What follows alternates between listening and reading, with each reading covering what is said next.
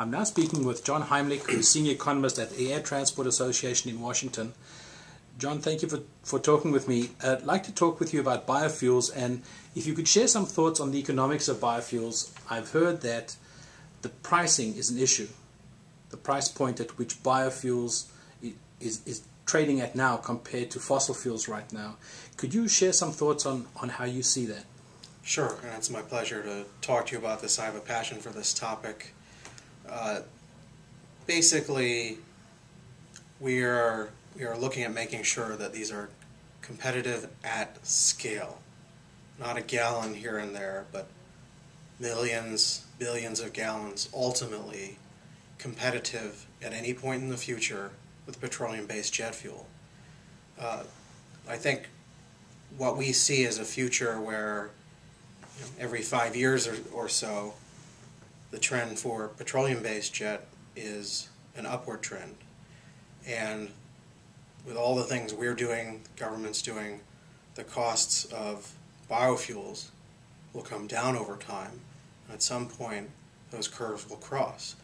all the work we're doing today is to accelerate that timeline. So we can't pick one price per se, and there's a range across different conversion technologies and different feedstocks and transportation fuel costs. Uh, but we, we are believers that this will give us another uh, choice in the toolkit. We want to diversify our supply chain. So we do believe that we can get there.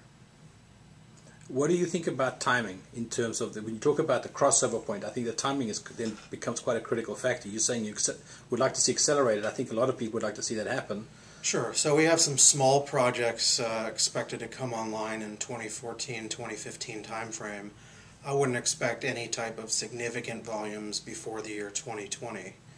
Uh, but I think again the, the key is that we want to pull the market in our direction, uh, meaning toward aviation fuels, not diesel, not uh, power generation, uh, not cars.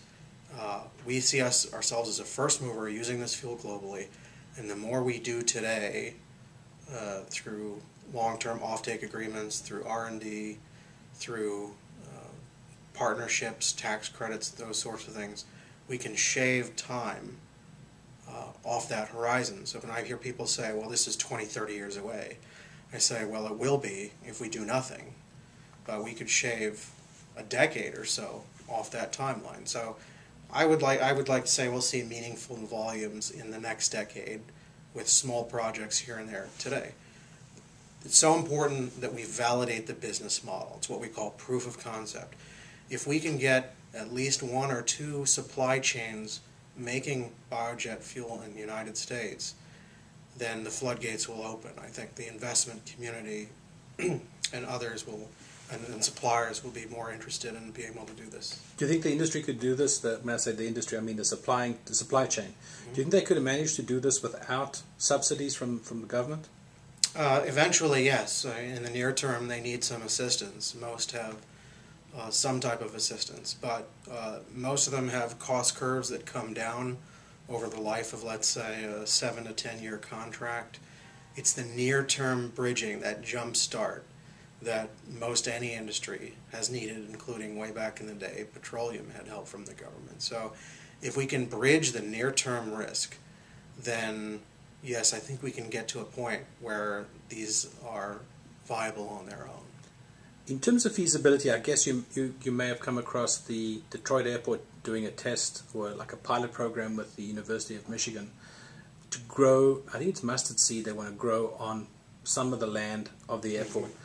I think it's, it sounds to me like a great idea that even the airports, are, or here's an airport that's trying to also focus on a problem which is everybody in the air transportation business should be concerned with. Is that it, that kind of thing feasible to, to see potentially that airports also get involved in, in helping to work through this process and, as you say, shave the timeline?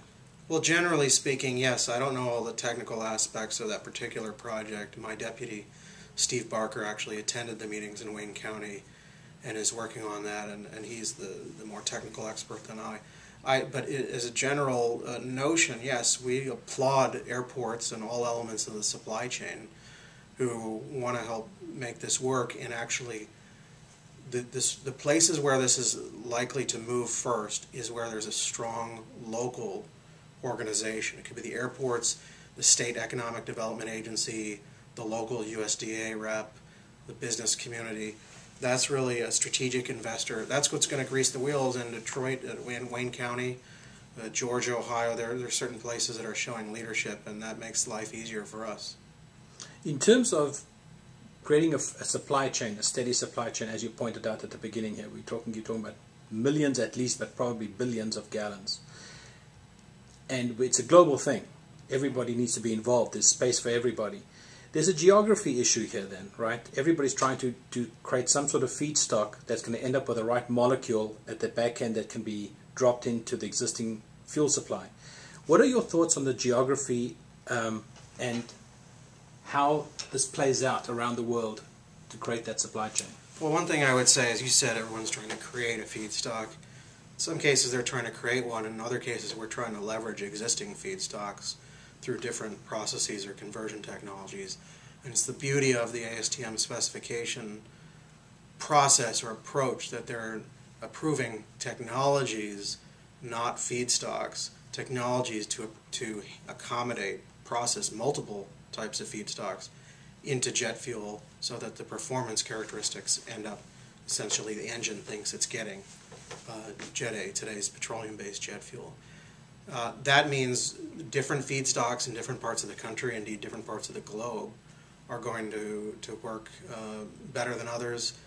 Uh, any given feedstock, like a camelina or a jatropha or a, a pennycress, they're not going to be algae universally present to the extent that oil tends to be. And we have to be uh, cognizant of the, you know, the agricultural conditions, the meteorological conditions. So security is important uh, of supply. I see this as an opportunity. Uh, one, we could situate facilities more proximate to the airports or to the pipelines, out of harm's way Mother Nature, uh, minimize transportation costs, undercut some transportation differentials uh, and, and give ourselves other options. And, and yes, what works in uh, Malaysia might be different than what works in uh, the state of Texas. And that is why it's so important that we pursue this third pathway too, the alcohol to jet process, because if we have a portfolio of conversion technologies, that's going to open up the door to more um, economically viable solutions in different parts of the world. But we're, we're obviously more focused on the United States. But this is an international effort, and uh, you know, we exhibited this at Paris Air Show. We've talked to this, everyone from the Singapore Air Force to the Australian government, and, and it's a very exciting endeavor. So we, we, we could in fact see within a decade or let's say 15 years the airline industry really having an alternative to fossil fuels. Yeah, I mean, technically we have an alternative today. It's just in minimal production and somewhat minimal use. I mean, Lufthansa and KLM have signed deals. Uh, the, the U.S. airlines have signed letters of intent for a biomass-based project in Gilroy, California. We're, we're looking at another one in the West Coast. Uh, so technically we have alternatives today, they're just not in mass production. That's what we have to get to. Uh, it's, you know, Rome wasn't built in a day.